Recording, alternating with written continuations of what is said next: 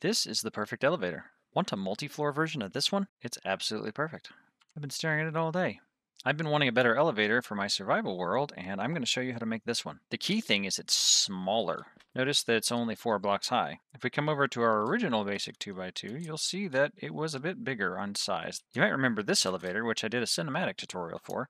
It's only one wide on the side here, but that introduces a lot of complexity, so it's a little bit of a pain, and I kind of want it to keep it narrow so it's only one or two blocks wide. See, this is like seven blocks across. So I came up with a better system.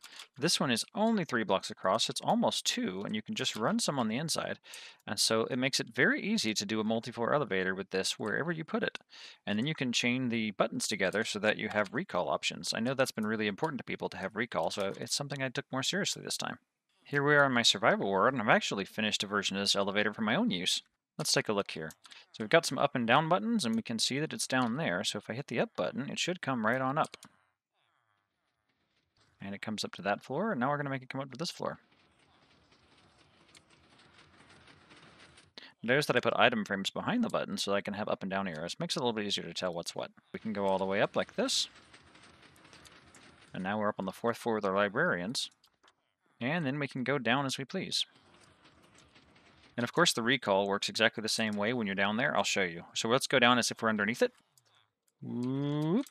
And now we're down underneath it, and we can actually call it downward.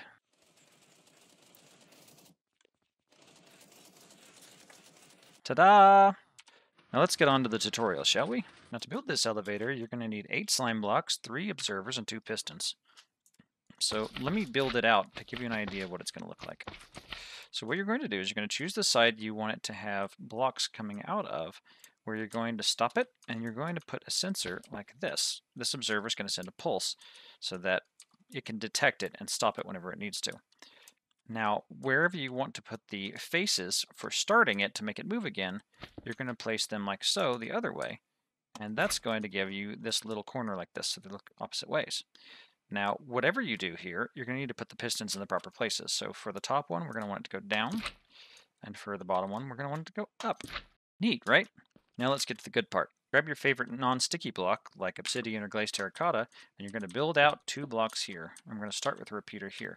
And what this is going to do is this is going to detect this observer as it's coming down, and then we're going to power into this block for when it's coming back up, so that we have two ways to stop it. So what we're going to do is we're going to put a double piston extender, and we're going to reach out and stop it with a piston. So we're going to put this right here, and that's going to fire out underneath it and grab it so that it can't go any further. We'll go, eh, no. And in order to power this, we need a 5-tick pulse. Now, where are we going to get a 5-tick pulse? So what I'm going to do is I'm going to put a 3-tick here. We're going to put this into it. And so that is 3 ticks. And I'm going to send a signal down around the side. And this will be 4 ticks. And because the 3 tick is getting there first, it's going to stack onto it so that it becomes a 5-tick pulse. So that already should work.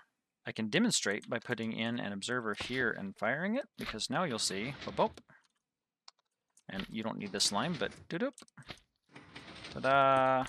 Now to stop it going up, what we're going to want to do is we're going to want to put a block here, and we're going to run this signal across, but we don't want that to connect, so what we're going to do is we're going to drop down and put this here, and I'm going to look at this and send the signal this way.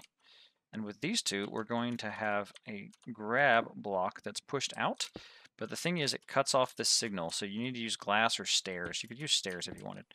Something that redstone will pass through, and that should be all it needs. And now, whenever we update this signal, it's going to do that. Now you see how it gets stuck there. We don't want it to get stuck there. We want it to do both.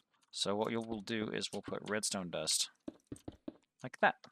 And that's going to add a second tick, so it'll fire at two ticks in a row and it just goes in and out, in and out. Let me prove I'm not crazy. So first we'll start with it going down, and you'll see that it does go down like we wanted. And then you'll see, yoink, and it puts it there at just the right tick so that it tries to move while this is on there, and it's too many blocks. This is exactly 12 in that direction, so it's 13, so it can't go any further. And now when we go up, and show it coming back down, whoop, now sometimes this piston can be left behind and we don't want that. So in order to prevent that, add another tick delay on it and it should be just fine. Let's try that again. See? And it stops.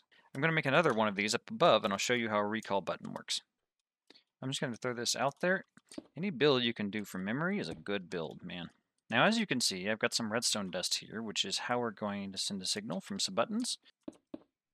I'm going to do the same thing on the other floor. They need to be back a block so that they're not being grabbed by the uh, thing. You can do that if you want, doesn't matter. So what we want to do is we want to chain these together. Now I want you to think about the process of recall because what we're going to do is we're going to make it so that it's the wrong side and it goes the opposite direction because when we are recalling it, think about this for a minute. When we're recalling it, it's it's above us if we want and we want it to come down. When it's below us, we want it to come up. And so what we're going to do is on these ups, we're going to send a signal downward. And so these are going to look up like this. We're going to have a downward signal. And then on the on the side that's going down, we want it to go up. I send an upward signal. Does that make sense? And that's going to give us the ability to chain all of these together. Let me fix these. Now the problem with this is we can't simply put redstone like this because the problem is they're going to connect. We want two separate signals. So what we can do is we can have this right here, but instead we can break this and we can go downward.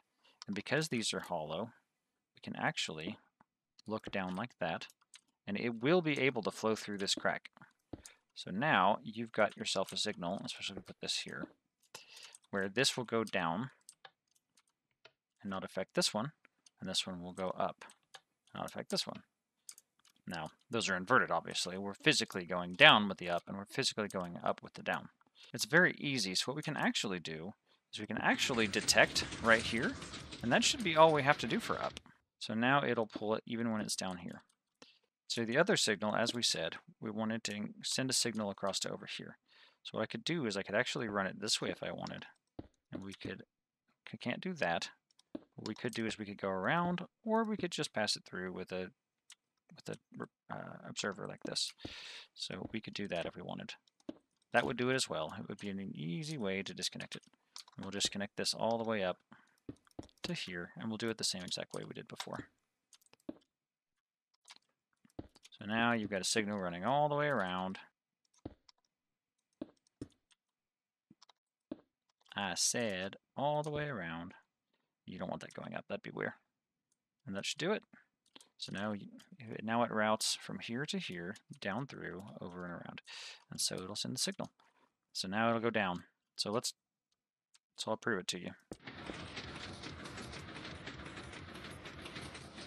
And so now this is going to send a signal when we hit the down button. It'll go around and through. And so let's show that recall. It's already working. We can go and hit the up button and it's going to send a signal down to the bottom one and then it'll come all the way up. And then we can come down here and we can add the same thing we did before. So what we're going to do is we're going to set up these buttons. We're going to put a signal right here. And we're going to put a signal underneath right here like this, oops, like this and that. And see, it's already working. We'll wrap this around through just to show that it is, in fact, working all the way right here. And if you want to make it less compact and you just want to swing it all the way around the hard way, you can do that. You don't have to do it like this and be all funky. You can keep it, if you, especially if you need to save nether quartz or something. Your miles may vary. And so these both should work all the way up and down. And so now I can actually hit down here. And it's going to continue on downward to the next one, if there was a next one. And so this is that. Oops, wrong one. That one. So now you can see that it stops at this level. And if we want to recall it up here, we can just hit the up when we're on this floor. And it'll come up. And if we were down here on this level and wanted to recall it downward, it's going to send that signal up there, and it's going to come down. And you can add as many of these sections as you want.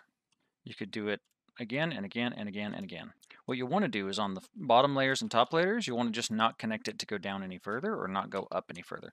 And that will be all you need to do. So it'll be a partial stopper. Does that make sense? So you just get rid of the parts that you don't need. I'll be making the schematic available on Patreon, or you can always subscribe and join us on Discord on my survival server and see it in firsthand. See you in the next video.